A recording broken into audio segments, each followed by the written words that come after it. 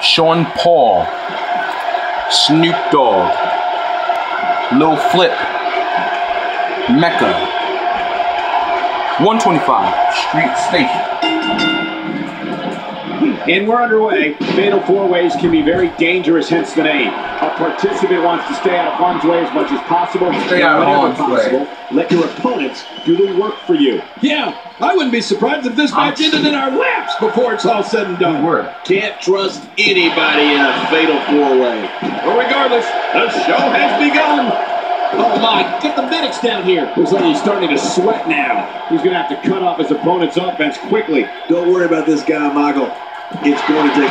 Oh shit, it's a forearm He's smash. fine. He just missed a step, that's all. Just look around that ring. You get the feeling in the pit of your stomach when you look out and see an opponent in every corner.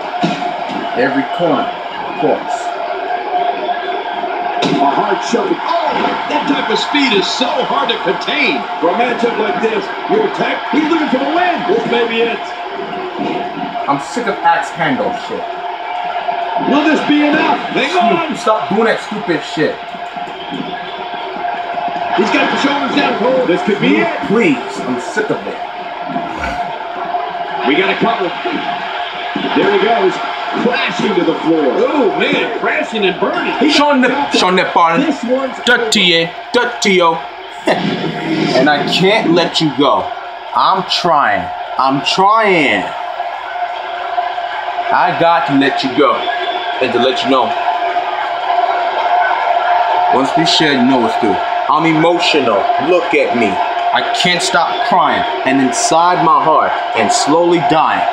Gotta let you let you know. Let the love once we share, you know what's through. Representing the Midnight Express, Sean Paul. Murder in air, this bitch just gets smoked. Light up the Gucci. what a battle. What a match and what a win. Congratulations. Man, that was four competitors giving it their absolute best in there.